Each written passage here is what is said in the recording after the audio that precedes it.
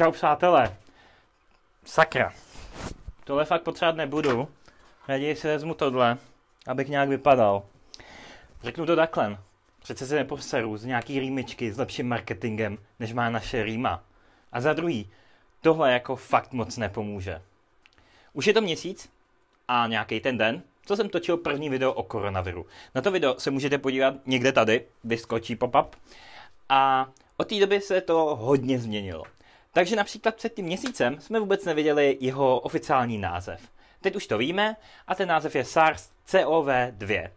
A e, tady ten vir způsobuje onemocnění COVID-19. Před tím měsícem bylo nakažených nějakých 4000 lidí a převážně všichni byli z Číny.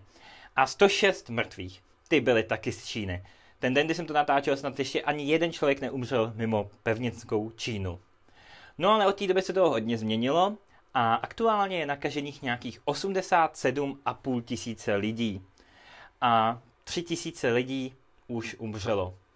Je to velký číslo na jednu stranu, ale globálně to není zas tak hrozný oproti rýmičce, kterou tady máme. No a dneska je 1. března 2020 a je první den, kdy se oficiálně potvrdilo, že tahle nákaza je u nás v České republice. Konkrétně to jsou tři případy. Dva jsou v Praze na Bulovce a jeden v Ústí nad Labem, i když ta situace už je taková, že ten z Ústí je už v Praze. No a já s chodou okolností bydlím přesně mezi tyhle těma městma. A to je v Roudnici. No, super.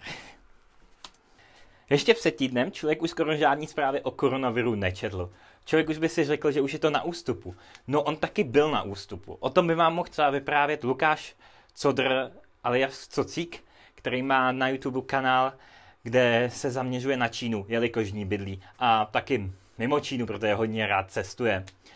No, ale bohužel tenhle týden, nebo minulý týden, eh, tenhle virus už zaútočil na Evropu. A to hlavně na Itálii. A konkrétně na severní Itálii. Takže třeba takovém Benátsku jsou už jako karanténní zóny. Jestli byste chtěli vědět, jak to vypadá v Trevisu nebo v Benátkách, tak zase tady někde vyskočí video, kde jsme tam byli s Adélou v říjnu. No a z Itálie se to vlastně rozneslo do zbytku Evropy. A aktuálně je nákaza v nějakých 66 státech po celém světě. Kolik je to v Evropě, to jsem nepočítal, ono to totiž furt roste. To smutný, vlastně co ale následovalo, nejenom tady v Česku, ale hlavně i v Itálii, je to, jak lidi začali panikařit.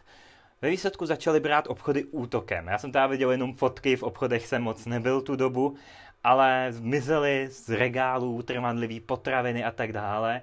Na košíku byl nějaký nákup půl tuny zboží, co si někdo objednal. No a vlastně to zboží se tím lidem akorát tak skazí. Jo, plno mýmů na to vzniklo. Třeba se slunce seno. A tak dále. Určitě jste nějaký viděli. Sakra, moment, chvilku, mě přijela dodávka z makra. He, opravdu lidi, není se zatím vůbec čeho obávat. Jako já chápu na jednu stranu ty starší ročníky. Oni přece jenom jsou cílová skupina tohohle viru. A taky jsou asi poznamenaní trochu z dob minulých, kdy prostě to zboží nebylo tak běžně na krámu, jako je teď. Teď je zásobování každý den a všeho máme dostatek ve výsledku. Takže já bych asi všem jako doporučil si přečíst obálku knížky Stopařova průvodce po galaxii, kde na obálce je velký vlítní nápis Nepropadejte panice. Ve výsledku se obyčejný člověk o tohle téma vůbec skoro nemusí zajímat. Je dobrý o tom něco vědět, že tady to onemocnění je, že to je nějaký, nějak rizikový, ale není to nic hroznýho. Ten nejhorší problém, který vlastně nastal, je to, že od roku 2002 nebo 2012, kdy tady bylo úplně stejný nebezpečí, i když těch lidí bylo méně nakažených, tak je to, že máme sociální sítě.